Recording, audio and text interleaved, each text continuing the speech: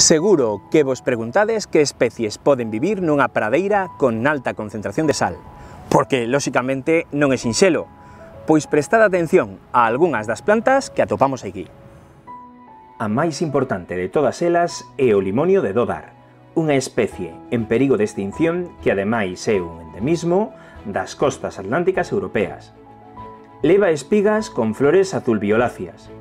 A súa diferenciación con outras especies de limonio que tamén temos en Galicia en ambientes costeiros e que son máis frecuentes, non é doada, pero sí podedes quedarvos con estas espiguiñas tan características que teñen todos os limonios para poder distinguilos de outras plantas.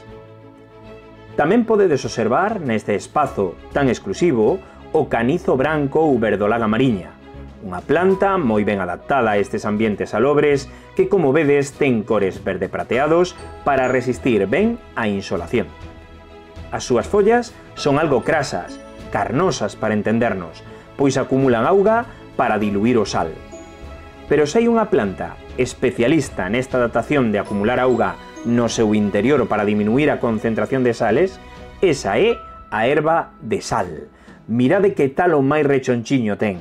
E fixadevos que parece que non ten follas. Ainas, pero tan pegadiños o talo e tan pequerrechas que pasan desapercibidas e esta unha adaptación para non perder auga por evapotranspiración.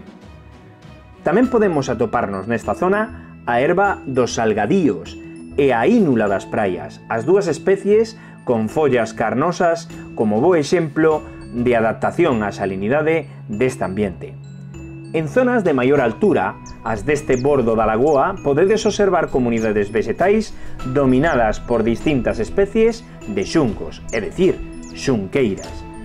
Así que, aínda que o ambiente é hostil, sabedes que hai especies vegetais que resisten e sobreviven aquí, establecendo ademais un hábitat para toda unha fauna asociada a él, como pode ser o cangrexo verde que atopa nesta pradeira salobre un lugar de refuxio, ou esta carriza dos xuncos e este lavacú de Fons Colombe que encontramos nas proximidades da xunqueira.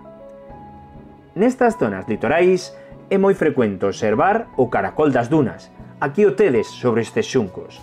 É unha especie autóctona que se alimenta de moi distintos tipos de plantas, pero noutros lugares, transportada polo comercio humano, como en Estados Unidos ou Australia, pode chegar a constituir unha verdadeira praga.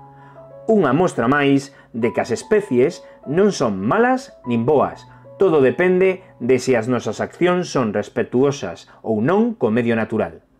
Anda, e mirad aquí, unha ninfa de saltón de as azuis asentada sobre o talo dun chantaxe de mar. Esta última, outra das especies vexetais características destas zonas. Tamén nestes ambientes salinos podedes observar os movimentos rápidos e nerviosos dun escarabello tigre, a cicindela do litoral.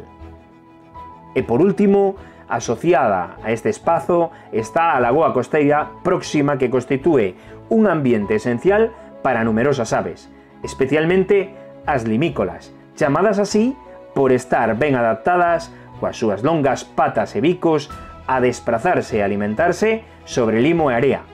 Polo tanto, esta lagoa supón área de descanso e alimentación para estos animais, que en ocasións veñen de lugares moi distantes.